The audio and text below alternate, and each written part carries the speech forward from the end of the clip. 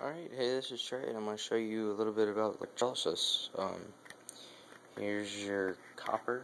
It makes copper carbonate. Um, the bubbles keep the copper pretty much in solution until you stop it. One oxidizes, one pulls the other one, and then the copper particles don't make it, and then fall down to the bottom, or keep in solution. Stump phone charger. Um, output on this one, let me read that, is 5 volts at 550 milliamps on that one. It does pretty fine. This one is a toy transformer thing. It blew because it was at 15 volts and at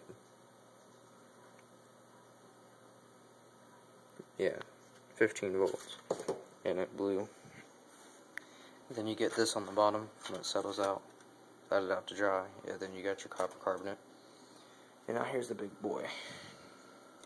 This is a Hewlett Packard power supply. Um, if I'm not mistaken it's 6 volts at I don't want to move it because I got wires and stuff but I'll let you know in the description. I got two fans each. This one is 12 volts, 300 milliamps, or yeah, I believe so.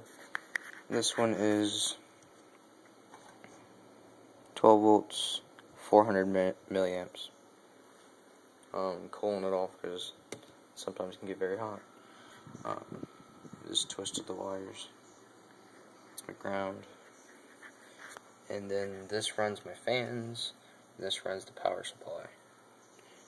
And two nails.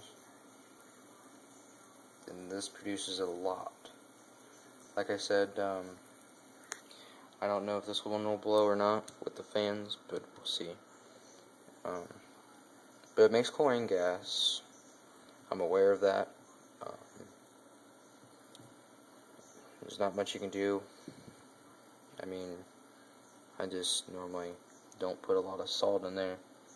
Or sodium, whatever you want to do it, sodium bicarb or anything. Um, so it doesn't produce that much. Normally it'll just whisk away, not produce that much correct me if I'm wrong, but I don't think if you put too much sodium in there, you don't get too much chlorine gas, but anyone can tell me different. I mean, I'm not, a self-made genius yet, but that's my electrolysis experiment. Um, anyone tell me how to uh, fix this because it's not working properly. It's like not reading amps or anything, but the batteries aren't dead and those in the correct position, I do believe. And um, switch the red and the positive and negative back and forth, and I can't get any reading. But uh, that's my electrolysis experiment. And uh, comment and like and subscribe for future videos. And I also just had this idea to put a heat sink that I pulled out of the computer, and uh, so it'll pull there. Uh, heat out of this readily and then transfer through the wind from the fans.